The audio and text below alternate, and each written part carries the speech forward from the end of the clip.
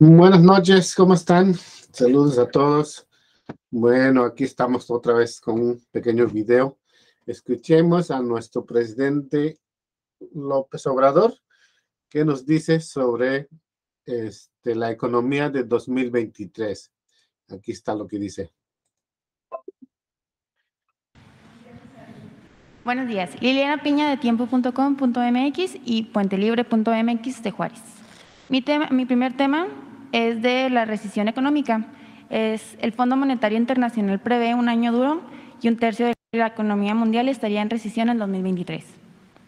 En México, estudios económicos realizados por Citibanamex estiman que la economía mexicana corre peligro en tener una ligera recesión y esto tener impacto en la recaudación tributaria en el Gobierno de México y las autoridades de Hacienda. ¿Qué le informan a usted, presidente, sobre este panorama para el 2023? A ver, ¿qué me informaron ayer? O sea, ¿cuánto ingresó ayer? ¿Te parece así? Esa es la mejor respuesta. A ver, que nos manden la información del SAT. Esa es una información diaria, como la de los delitos que se cometen, son informes diarios. Este diario también revisamos lo que tiene que ver con eh, la pandemia, con las enfermedades de salud, todos los días. Y este es muy importante, ¿no? Pero a lo mejor tenemos el de ayer, el de recaudación. Es que los, este, los expertos a veces fallan. La verdad es que la economía mexicana está bien. Mire, este es lo de ayer. O sea, los primeros eh, días del mes. ¿Cómo le llaman a, a, ah, sí, las pintas y las repintas? Cabañuelas. Entonces son los primeros, aquí son 13 días, ¿no? porque es al 13 de enero. El eh, en los primeros días del año pasado, de enero, la recaudación era de 47.951 millones, es lo que había entrado y ahora 61.511. En términos reales es un incremento del 19%. O sea que si a esto le agregamos inflación nominal, serían como 27, 26, 27%. Entonces empezamos bien el año en recaudación, en ingresos. Eh, por ejemplo, los tributarios pues están muy bien. Eh, tenemos IVA menos porque son devoluciones que se hacen a principio de año. Sin embargo, impuestos sobre la renta Miren, de 14 mil a 29 mil millones. Este, están cumpliendo los contribuyentes y muchas gracias y que nos sigan ayudando con la convicción de que ahora este dinero se destina a mejorar las condiciones de vida, de trabajo de la mayoría del pueblo se destina al desarrollo, se destina a la seguridad pública, no se va a los paraísos fiscales, no se lo roban como era antes los políticos y también los traficantes de influencia. Esa es una diferencia importante. Bueno, vamos a ver es lo que nos está diciendo aquí nuestro presidente, ¿no? Entonces, como él está diciendo que el año pasado, el 2022, la recaudación era 47 mil 951 millones de pesos. 47. Y todas las cosas que el presidente ha hecho con ese dinero. ¿Cuántas obras no ha hecho? ¿Cuántas cosas no ha terminado? Todas las cosas que ha luchado para hacer, proyectos grandes que ha hecho.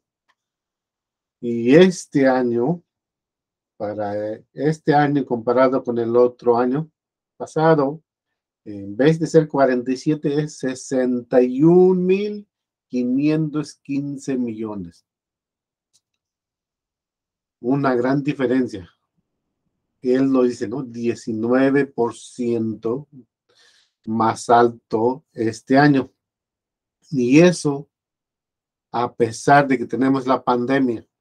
Si no hubiera pandemia, sería como un 27%, ¿no? En una gran cantidad, mira, 25% de algo es un cuarto, ¿no?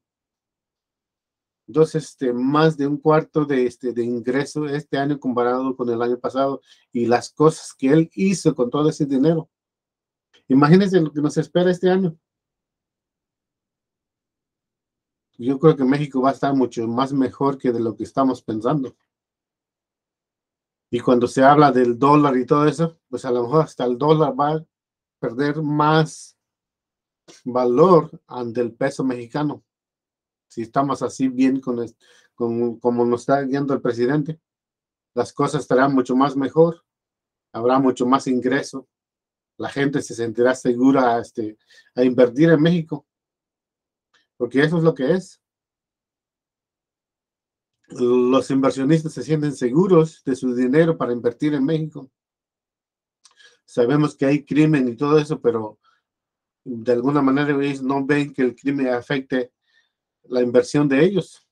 Todo el dinero que están invirtiendo, tanto al sur como en Oaxaca, como al norte, la frontera. Entonces quieren decir que, que ellos, los que están invirtiendo, pues hablamos de muchos, muchos millones de pesos Imagínate que tú fueras un multimillonario y quieras invertir, pues vas a pensar si es que te conviene o no. Y para esos millonarios, pues les conviene invertir en México.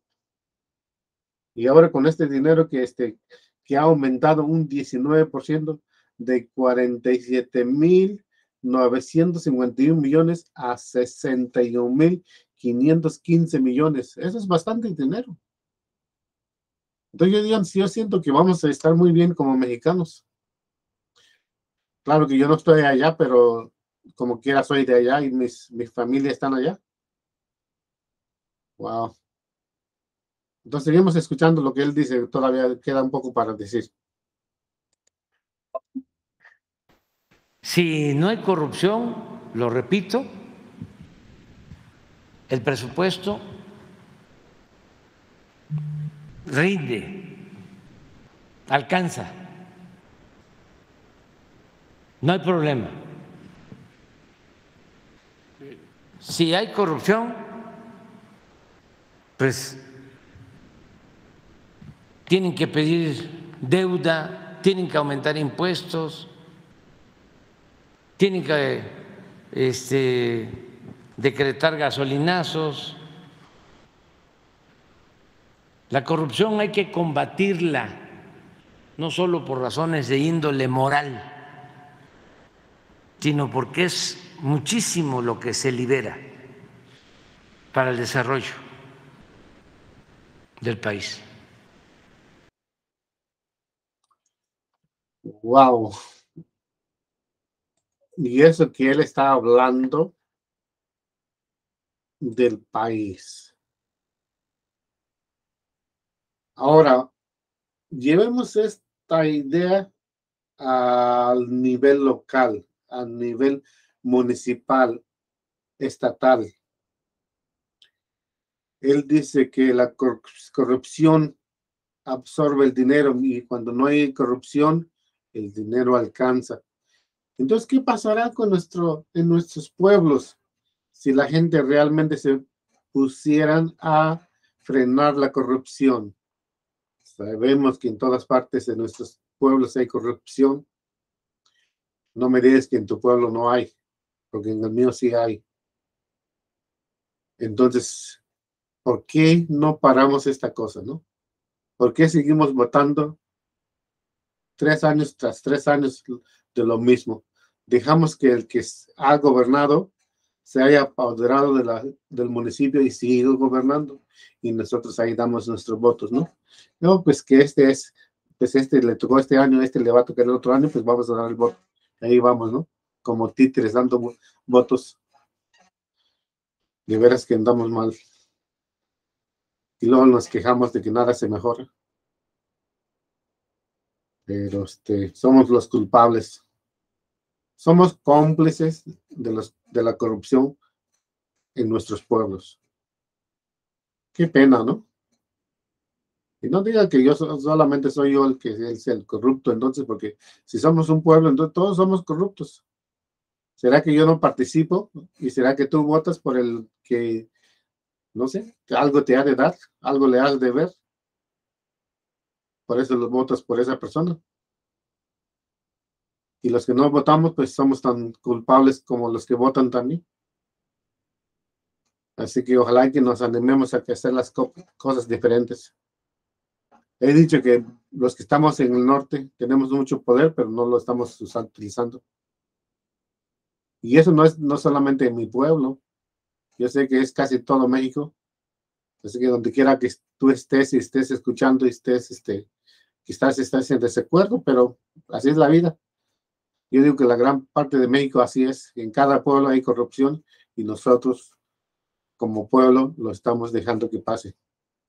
Bueno, entonces cuidan, pues compartan, puede que estén o no estén de acuerdo, pero pues es mi opinión.